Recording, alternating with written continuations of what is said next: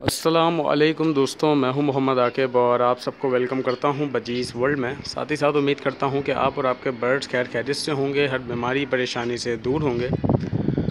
आज का जो मेरा टॉपिक है, वो आप लोगों के ही कमेंट्स में से निकला है। काफ़ी लोग, काफ़ी भाई एक बात बार बार पूछते हैं और मुझे लगा कि आप लोगों को आज बताता चलूँ। काफ़ी लोग पूछते हैं कि हम इतनी बड़ी वेरी में मतलब इतनी बड़ी कॉलोनी में अपने एक साथ बर्ड्स छोड़ सकते हैं या नहीं। मतलब हम बर्ड्स में मिक्स स्पाइसी मिक्स स्पीसीज़ को छोड़ सकते हैं, जिसमें बजरी फिंचेस और कबूतर वगैरह बाकी सारी चीज़ें आती हैं, छोड़ सकते हैं या नहीं। तो ये वीडियो मैंने बनानी थी, लेकिन इससे पहले आप लोगों को थोड़ा सा ओवरव्यू देना था। तो मेरे पास तो इस तरह कोई मिक्स वेरी नहीं है, इस तरह मिक्स कॉलोनी नहीं है तो मैंने सोचा कि आप लोगों को पहले एक कॉलोनी का सेटअप दिखा दूँ।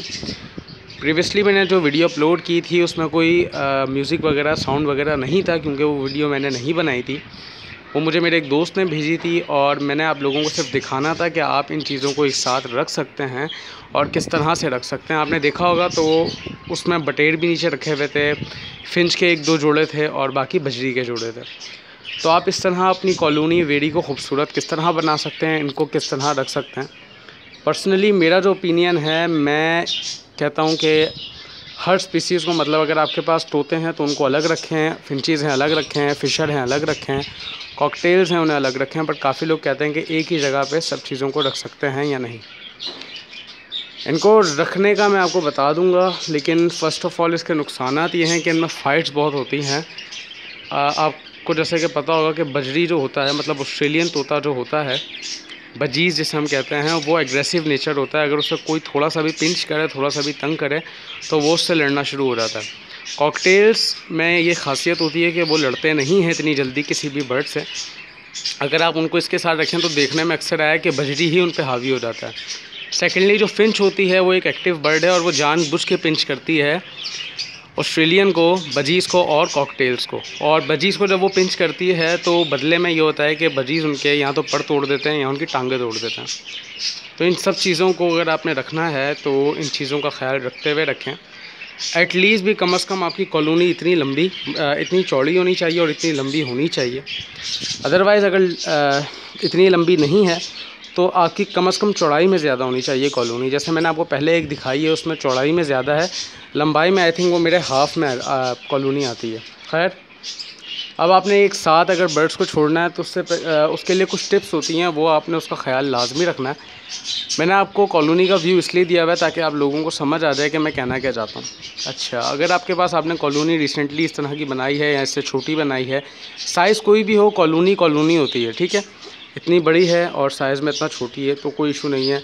अगर आपके पास इतनी कॉलोनी है, तब भी कोई इशू नहीं है। चौड़ी, मैंने शुरू से बोला है कि कॉलोनी मतलब डेप्थ के साथ साथ अगर वाइड वाइडनेस में ज़्यादा हो मतलब वो लंबाई में ज़्यादा हो तो ज़्यादा बेटर होता है, क्योंकि हर जानवर जो है मतलब हर परिंदा जो है, वो हमेशा हॉरिजॉन्टली उड़ता है। वर्टिकल कोई भी आप परिंदा उड़ते हुए नहीं देखेंगे।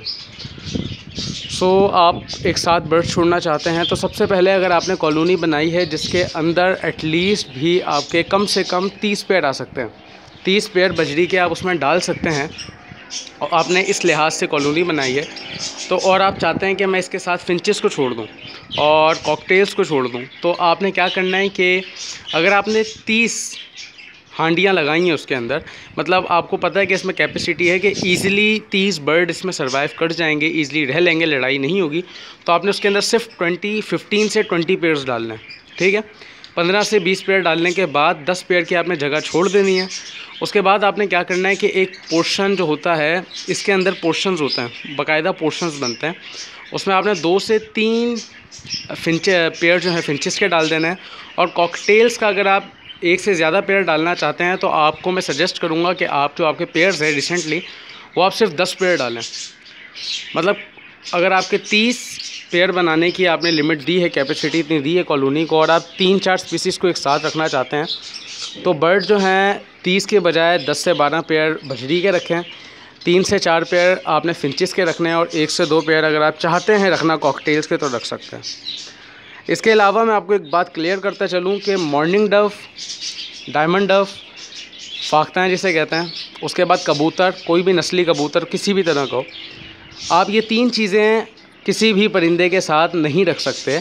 ये तीनों जो होते हैं, ये बहुत, एक तो डरपोक किस्म के होते हैं, डरते हैं। सेकेंडली डरने के साथ ये सर्वाइव नहीं कर पाते। क्योंकि इनका जो खाने पीने का अंदाज़ है, दूसरा इनकी जो सारा सिस्टम है वो अलग है और जो बर्ड्स हैं उनका अलग होता है। इनको अगर आप इसके साथ रखेंगे तो क्या होगा कि आपका बर्ड जो है वो सर्वाइव नहीं कर पाएगा, किसी ना किसी बीमारी में पड़ जाएगा या मर जाएगा। दूसरा, कबूतर को इनके साथ इसलिए नहीं रखा जाता कि सारी बीमारियाँ, ख़तरनाक बीमारियाँ जो होती हैं, रानी खेत की बीमारी हो गई हैं और भी काफ़ी एक बीमारी होती है जिसमें लकवा लग जाता है बर्ड्स को। तो ये सारी बीमारियों से अगर आपने बचाना है तो मैं सजेस्ट हमेशा करूँगा कि आप कबूतर ना रखें बर्ड्स के साथ, एक ही वीडियो में। अच्छा अब आपने क्या करना है? पोर्शन किस तरह बनाने हैं इतनी बड़ी कॉलोनी के अंदर? तो यार, पोर्शन बनाने का तरीका बहुत आसान होता है। ये जो मैं आपको बात बताने लगा हूँ तो ये मैंने काफ़ी जगहों पे इस तरह की कॉलोनीज़ देखी हैं। काफ़ी जगहों पे इस तरह के सेटअप देख के आया हूँ, जहाँ पे मुझे पता है कि किस तरह उन लोगों ने बर्ड्स को रखा हुआ है। सो तरीका कुछ इस तरह से होगा कि अगर आपने फ्रंट पे। फ्रंट पे जैसे मैंने हांडियाँ लगाई हैं, आपने फ्रंट पे हांडियाँ लगाई हैं तो आपने फिंचिस की जो हांडियाँ वो इस तरह नहीं लगानी कि आपने एक इधर लगा दी, एक इधर लगा दी, एक इधर लगा दी। इस तरह कभी भी आपका बर्ड जो है ब्रीड नहीं सही करेगा। कट जाएगा, लेकिन मज़ेदार नहीं आएगा आपको। तो आपने क्या करना है, तीन से चार हांडियाँ इस तरह कोने पे लगा देनी है। मतलब जो फिंचिस का एरिया होगा, वो थोड़े से जो फिंचिस का आपने इसको एरिया दिया है, वहाँ पे आपने सिर्फ़ फिंचिस की हांडियाँ लगानी है। ठीक है? इस एरिया में सिर्फ़ आपने बजीज़ की हांडियाँ लगानी है। और जो बाहर की एरिया बच जाते हैं या जो आपका पास रेस्ट बच जाता है, उसमें आपने कॉकेटेल्स की लगा देनी है। कॉकेटेल की हांडी भी मिलती है, इसकी नेस्टिंग बॉक्स भी मतलब नेस्ट बॉक्स भी मिल जाता है लकड़ी का। वो आप पे डिपेंड करता है कि आप क्या लगाना चाहते हैं, ठीक है?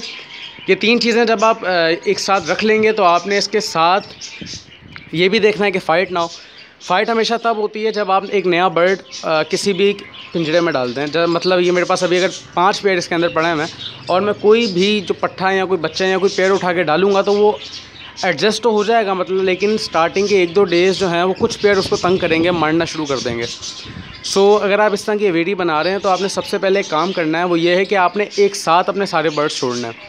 मतलब एक ही टाइम में, एक ही साथ आपने अगर दस पेड़ ऑस्ट्रेलियन के छोड़ दिए हैं तो उसी वक्त आपने चार पेड़ फिंचेस के छोड़ देने और उसी वक्त एक से दो पेड़ आपने कॉकटेल्स के छोड़ देना तो इस तरह ये होगा कि वो साथ जब एक कॉलोनी में जाएँगे तो कोई भी किसी से फ़ाइट नहीं करेगा, एक से दो दिन में एडजस्ट वो खुद ही हो जाएँगे। उसके बाद आपने कोई भी नया पेड़ उसके अंदर नहीं डालना। क्योंकि उधर जगह ही नहीं बचेगी। अदरवाइज़ अगर सिर्फ़ आपने बजरी की कॉलोनी रखी है ऑस्ट्रेलियन की तो उसमें ये होता है कि जैसे मैं करता हूँ, वो बताता हूँ। मैं एक एक करके बर्ड नहीं छोड़ता। जैसे मेरे पास पीछे से अगर बच्चे निकलेंगे इन सारे, और जो मेरे पास छः मतलब तीन पेड़ अलग रखे हैं, कॉलोनी जो स्मॉल बनाई है उसके अंदर तो वो सारे मिक्स करके, जो पट्टे होंगे, वो उस कॉलोनी में रह जाएँगे, जो एडल्ट हो जाएँगे, वहाँ से वो सारे एक साथ कोई छः सात पीस इसमें डाल दूँगा। इस तरह भी लड़ाई नहीं होती।